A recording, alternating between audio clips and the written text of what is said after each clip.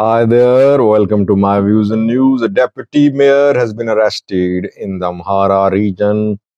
Uh, what is the allegation against this mayor? Secondly, dozens of Fano fighters have been allegedly killed by the Ethiopian military in an operation in the region.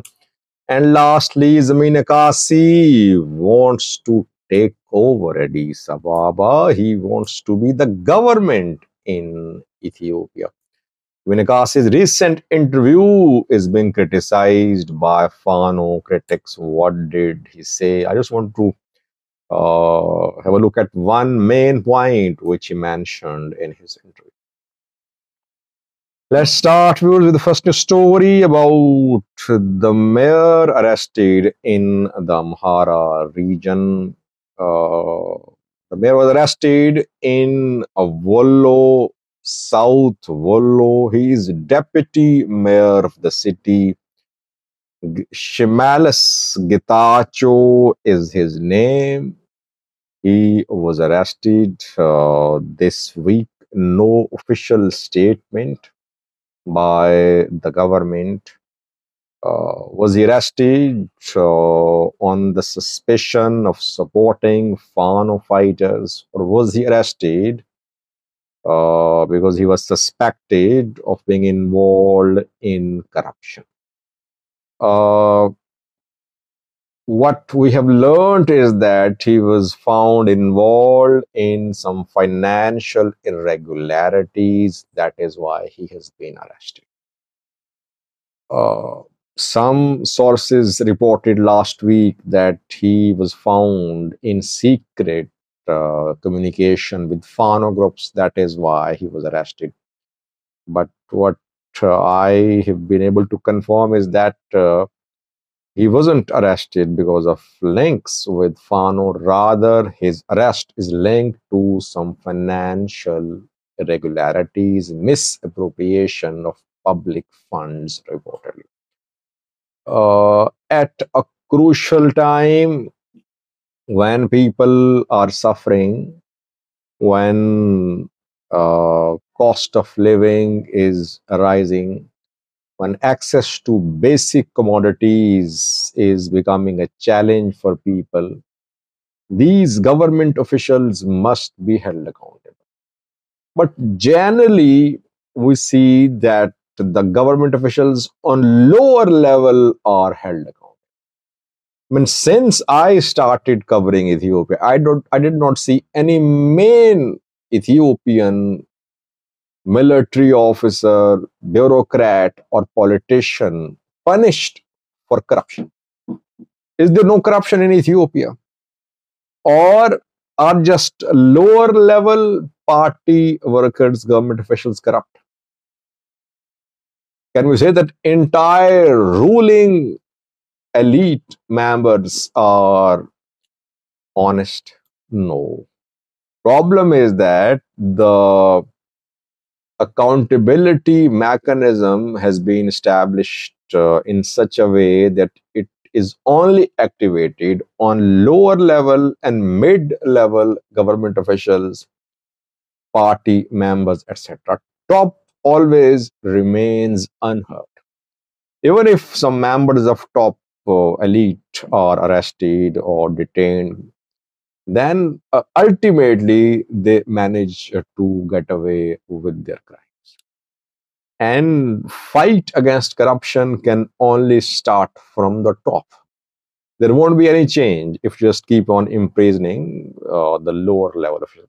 I am not saying that Dessie's uh, deputy mayor should not have been arrested. Uh, what I'm saying is that accountability must start from the top. Secondly, viewers, uh, Ethiopian military claims to have killed dozens of Fano fighters. Military issued a statement a few hours ago. The military is claiming that it conducted an operation against Fano fighters in East Gojjam. In that operation, more than 40 Fano fighters were killed. Operation was conducted in Goncha Siso Enese woreda. situated in the East Gojjam zone of the Amhara region. Uh, by the way, whenever some Fano fighters are killed in a military operation, pro Ethiopian government activists attribute the killing of these Fano fighters to infighting in Fano. So for me, it's uh, so for me it's difficult. Uh, uh, for me, uh, it, it's difficult to understand why that uh, all the casualties being suffered by Fano fighters in Ethiopian military operations are being attributed to uh, infighting in Fano. Yes, there is infighting in Fano. It does not mean that each and every Fano fighter who is dying is dying because of uh, the infighting in Fano. Uh, so this incident, which I have learned about, is not about infighting in Fano. Rather, military conducted an operation, and in that operation, uh, Fano fighters died. How many were killed? Generally, military exaggerates. Fano also exaggerate their uh, uh, gains and military's losses. Lastly, we are Zemene Kassie, the Fano commander from Gojjam, wants to be the government. Zemene Kassie gave an interview a few hours ago, not a few hours ago, uh, more than 24 hours ago.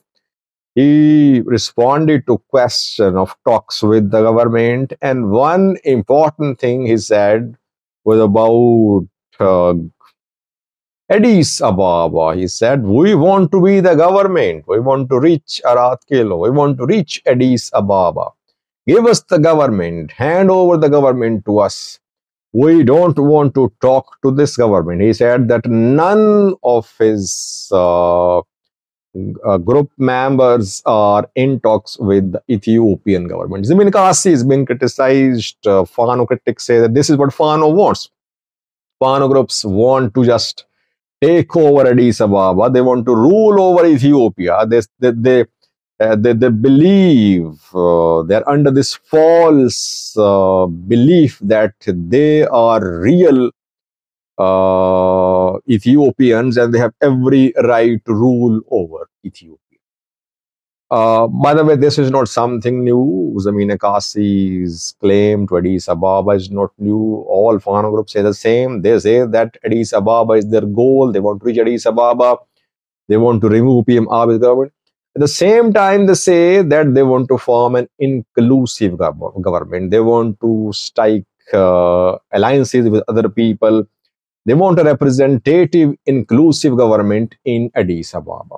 It does not mean they want to rule over Ethiopia alone, which is not possible, by the way. Even if Fano fighters reach Addis Ababa, they won't be able to control entire Ethiopia. Obviously, for a working, acceptable government, Fano groups will have to ensure uh, a government with participation of all the stakeholders they're reaching Addis Ababa is uh, just a discussion. They're not close to it. They're nowhere close to it. They're just in Amhara where they are. Uh, they could not reach even the regional capital of Bahir Dar. Let's see. So far, uh, they are just trying to consolidate their Uh, position in the Amhara region. Thank you for watching.